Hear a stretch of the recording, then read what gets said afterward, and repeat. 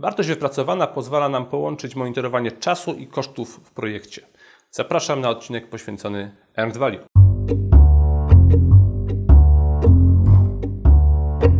Cześć. Zanim przejdę do szczegółów, zachęcam do subskrybowania kanału, zachęcam do jego wsparcia na patronite.pl. E, dzięki niewielkim kwotom możesz uzyskać dostęp do przedpremierowych odcinków i do dodatkowych materiałów. Dlatego zachęcam. E, a teraz przechodzę do tematu. E, wartość wypracowana. Wartość wypracowana to metoda, która pozwala nam monitorować zarówno koszty, jak i czas w projekcie. Jej zaletą jest to, że te dwa aspekty projektu monitoruje jednocześnie, analizując to, co się w projekcie dzieje.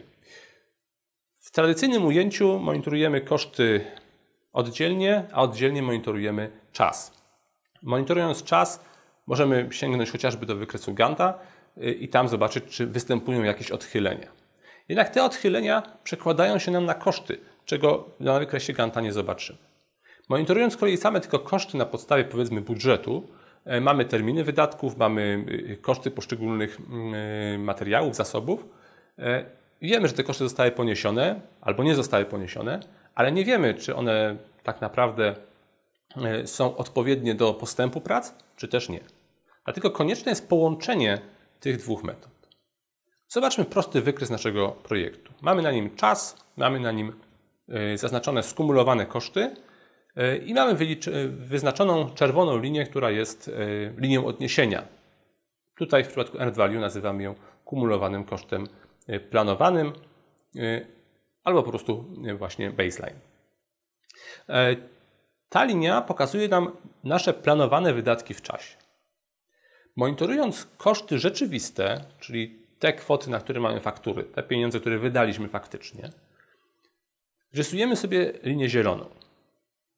W dniu kontroli, oznaczonym tą pionową linią, widzimy, że nasze koszty rzeczywiste są niższe od linii odniesienia. Czy to znaczy, że jest dobrze? Czy to znaczy, że zaoszczędziliśmy pieniądze w projekcie? Niekoniecznie. Może się bowiem okazać, że po prostu nie wykonaliśmy zadań, dlatego nie, po, nie ponieśliśmy kosztów. Dopiero kiedy narysujemy dodatkową linię, y, czyli linię wartości zadań zrealizowanych, czyli tą właśnie linię earned value, zobaczymy, co się dzieje naprawdę. Wartość zadań zrealizowanych to jest suma wartości przewidzianej w budżecie y, tych naszych y, zadań.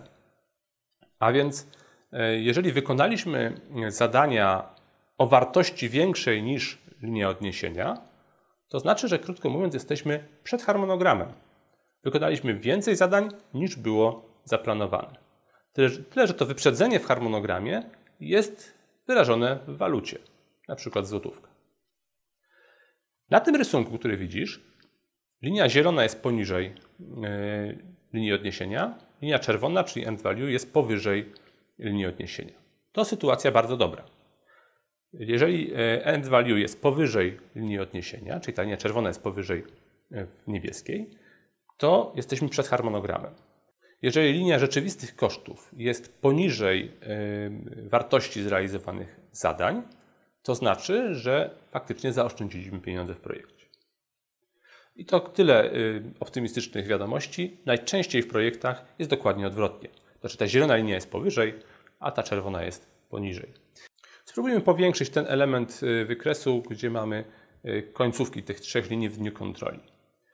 Na tym rysunku widzisz dokładnie, jak ocenić wyprzedzenie terminu i przekroczenia budżetu.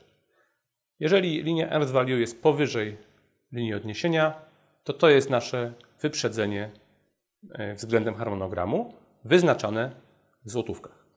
Natomiast jeżeli linia e, rzeczywistych kosztów jest poniżej e, linii wartości wypracowanej, to mamy wyprzedzenie względem budżetu, czyli krótko mówiąc, jesteśmy poniżej kosztów, które przewidzieliśmy w budżecie.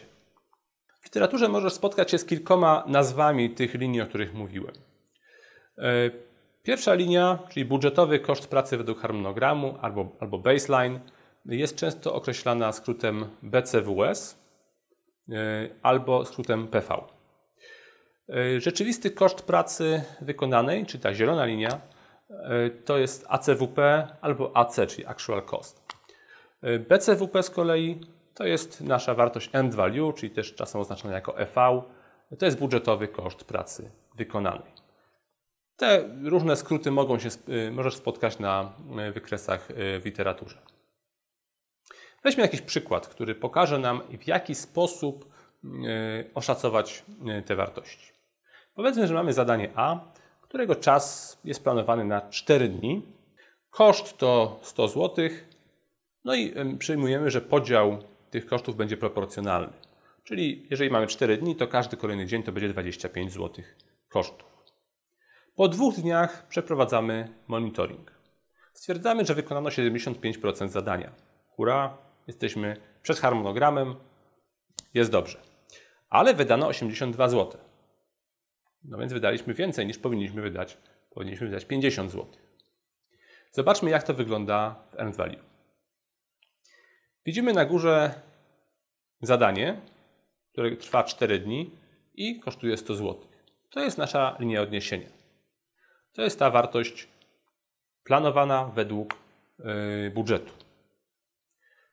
W drugiej linii widzisz podzielone zadanie na poszczególne dni. Jest to konieczne, ponieważ w end value musimy wiedzieć, jaki jest etap realizacji danego zadania w konkretnym dniu, a nie po jego zakończeniu.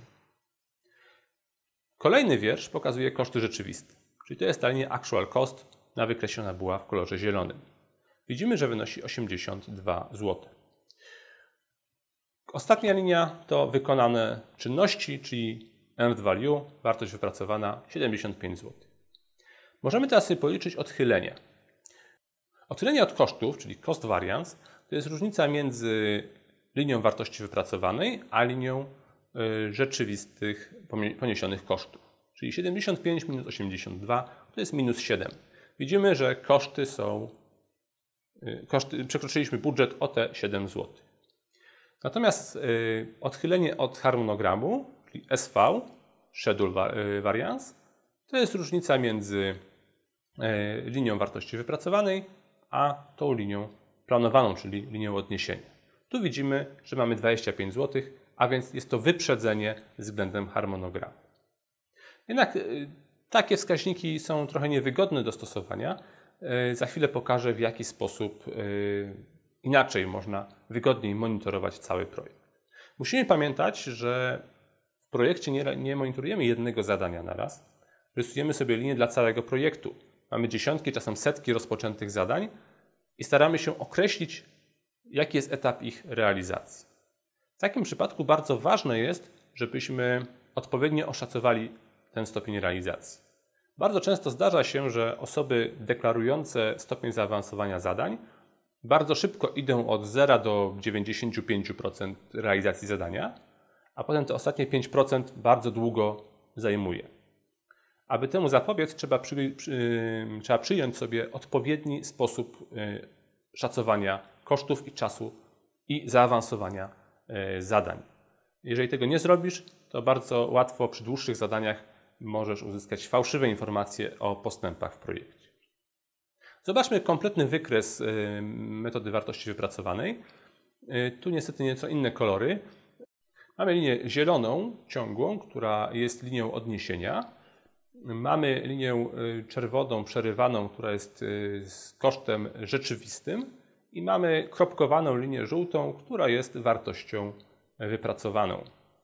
Widzimy zaznaczone odchylenie od harmonogramu oraz odchylenie od budżetu i widzimy, że w tej sytuacji, w dniu kontroli, sytuacja jest no, niezbyt dobra. Mamy odchylenie od harmonogramu na minus, czyli znaczące opóźnienie. Mało tego, mamy odchylenie również od budżetu, czyli przekroczyliśmy wydatki. Jeżeli dobrze zaplanowaliśmy e, e, budżet i plan projektu, to prawdopodobnie nie uda nam się wyjść do linii, dojść z powrotem do linii e, budżetu, do linii odniesienia. A w związku z tym możemy zastanowić się, czy warto w tym momencie już wyznaczyć nową linię odniesienia, która uwzględni te problemy, które zauważyliśmy na wykresie.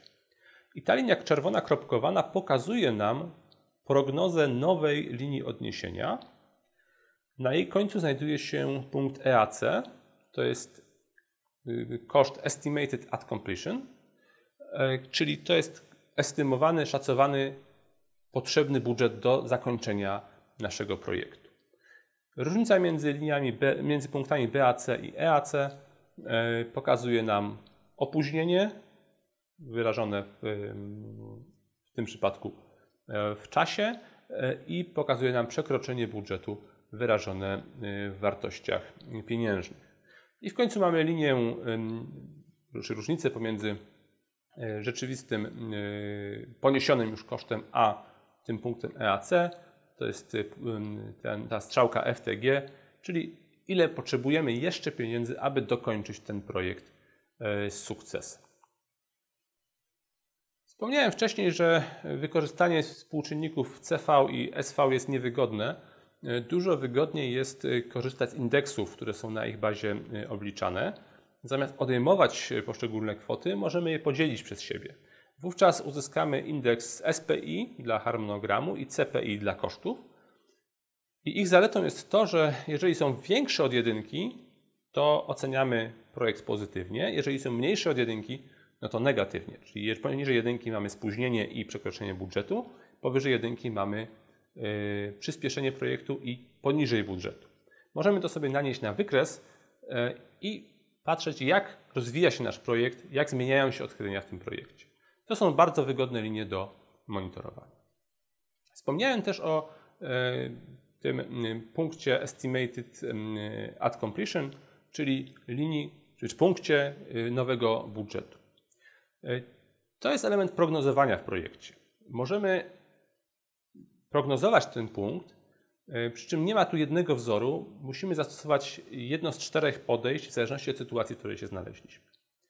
Jeżeli nasz projekt jest realizowany wolniej niż przewidywaliśmy, na przykład mamy niską wydajność realizacji zadań, czyli przewidujemy, że dotychczas e, pojawiły się nam opóźnienia w realizacji zadań spowodowane niską wydajnością na przykład i że te problemy będą dalej występowały w projekcie, to możemy zastosować pierwszy wzór, czyli podzielić pierwotną wartość budżetu przez, e, nie budżetu, tylko wartość BAC, przez CPI i wtedy uzyskujemy tą wartość prognozowaną. Jeżeli wystąpiło losowe przekroczenie kosztów związane z jakimś czynnikiem ryzyka, i przewidujemy, że w przyszłości to się nie zdarzy, to możemy zastosować prostszy wzór, gdzie rzeczywisty koszt y, dodajemy do różnicy pomiędzy y, tą sumą y, kosztów, czyli BAC i wartością wypracowaną.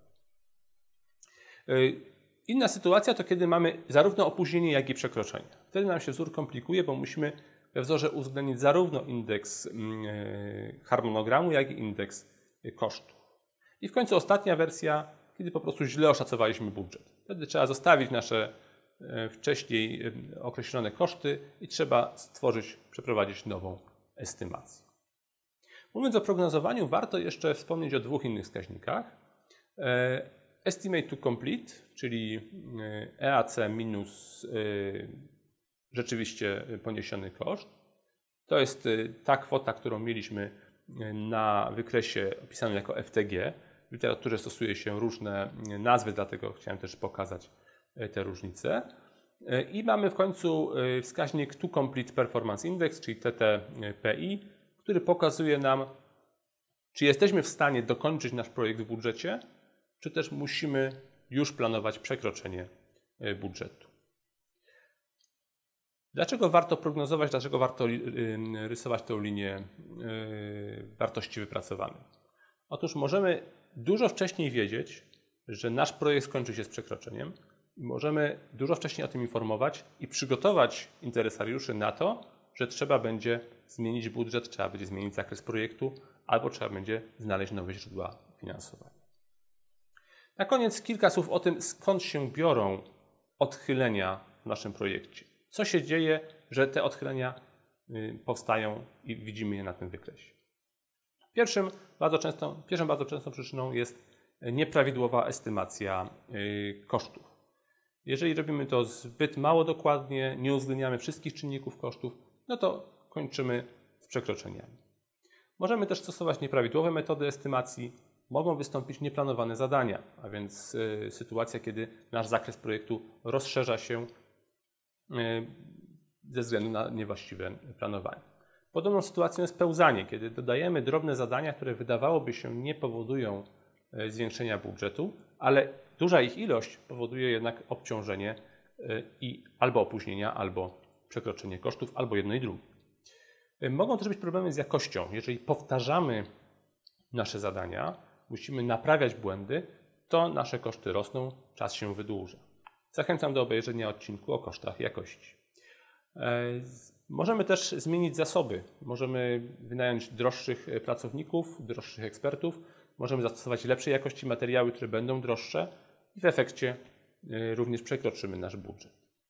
Możemy też mieć czynniki zewnętrzne, które są od nas zupełnie niezależne, na przykład inflację, e, duża, dużą, duży popyt na rynku, który spowoduje e, wzrost cen materiałów, e, sezonowość, no na to mamy trochę wpływ.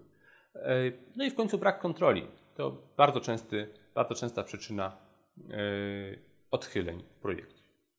Tyle w dzisiejszym odcinku. Dziękuję za uwagę i zachęcam do obejrzenia kolejnych odcinków. Zachęcam do subskrybowania kanału i do jego wsparcia na patronite.pl. Do zobaczenia.